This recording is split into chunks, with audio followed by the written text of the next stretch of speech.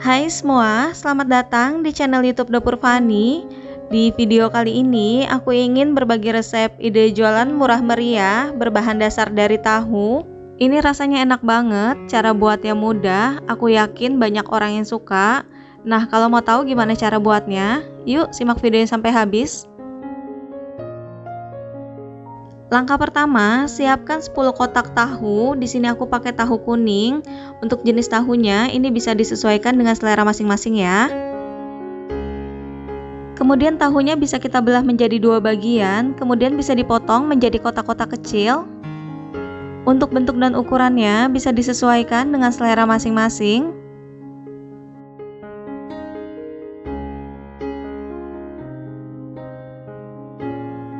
Kalau tahunya sudah terpotong semuanya, tahunya bisa kita sisihkan terlebih dahulu. Untuk alat memasaknya, di sini aku pakai produk dari Goto Living yaitu Kova Kitchen Utensil Rustic Essential.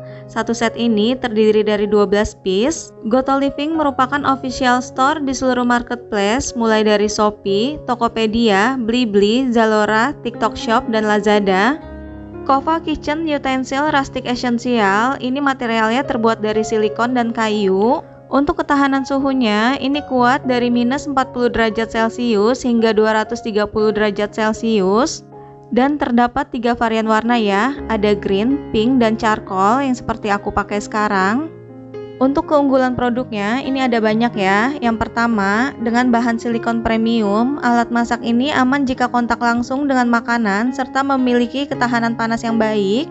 Selain itu, memiliki bahan silikon yang lunak, tidak lengket, dan merusak permukaan penggorengan saat digunakan, dilengkapi tempat penyimpanan untuk menaruh peralatan alat masak dan menjaga kebersihan dapur, tersedia dalam 11 varian alat masak, bisa digunakan untuk memasak berbagai jenis makanan, Nah, kalau kita beli produk ini, kita sudah mendapatkan 11 varian alat masak dan satu bucket alat masak.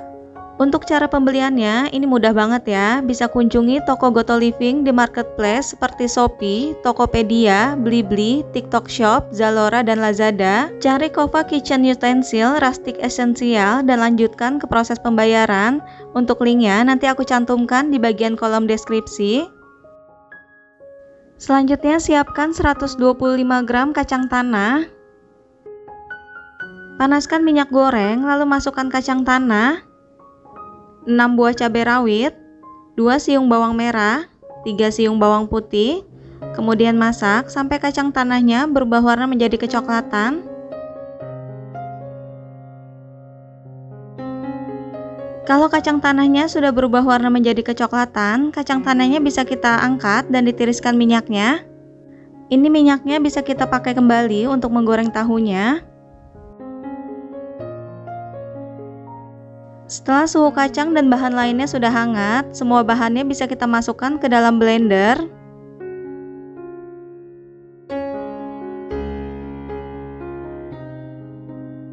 Tambahkan air matang secukupnya, kemudian semua bahannya bisa kita haluskan.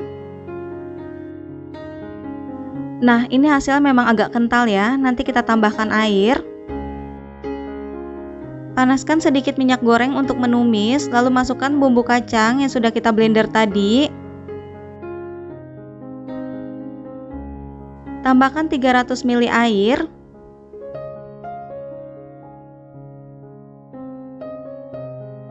Satu keping gula merah beratnya kira-kira 35 gram, setengah sendok teh kaldu bubuk, seperempat sendok teh garam, kemudian aduk sampai kuahnya mengental.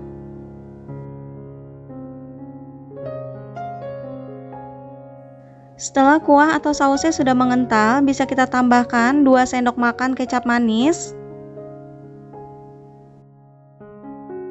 Barusan sudah aku cobain, ternyata masih kurang sedikit manis. Ini aku tambahin sepertiga sendok makan gula pasir. Kemudian bisa diaduk kembali sampai semua bahan tercampur merata.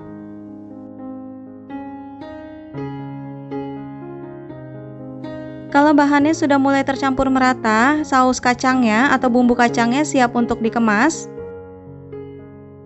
Selanjutnya bisa kita siapkan 200 gram toge, ini togenya cuman aku siram dengan air panas, nggak aku masak karena takut kelembekan atau terlalu matang.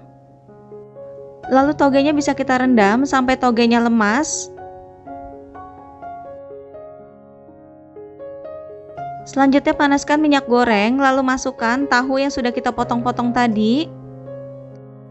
Kemudian tahunya bisa kita goreng sampai tahunya berwarna kecoklatan, tapi nggak usah terlalu kering ya. Kalau tahunya sudah berwarna kecoklatan seperti ini dan sekiranya tahunya sudah matang, tahunya bisa kita angkat dan ditiriskan minyaknya.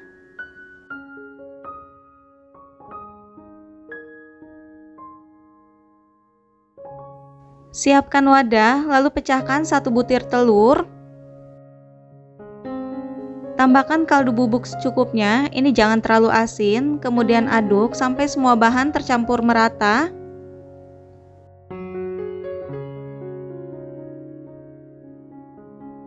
Kalau sudah mulai tercampur merata, tambahkan sedikit daun bawang. Kemudian tambahkan tahu, ini aku bagi menjadi empat bagian. Jadi dalam satu resep ini, kita membutuhkan 4 butir telur, kemudian bisa diaduk rata.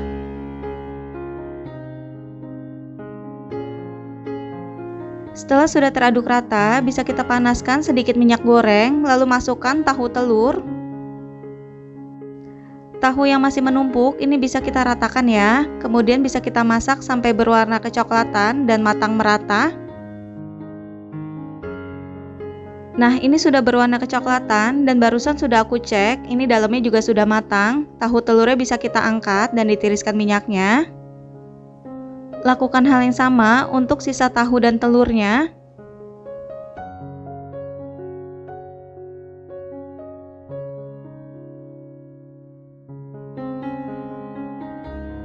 Siapkan mika plastik. Di sini aku pakai ukuran 4A.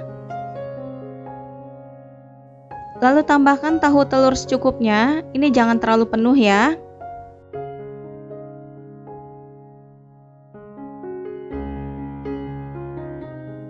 Tambahkan juga toge.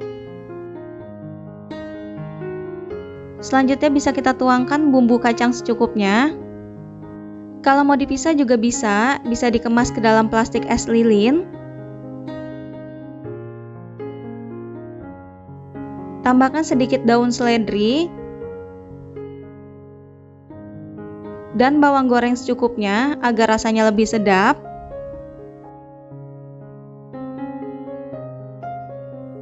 Tambahkan potongan timun, ini opsional aja ya.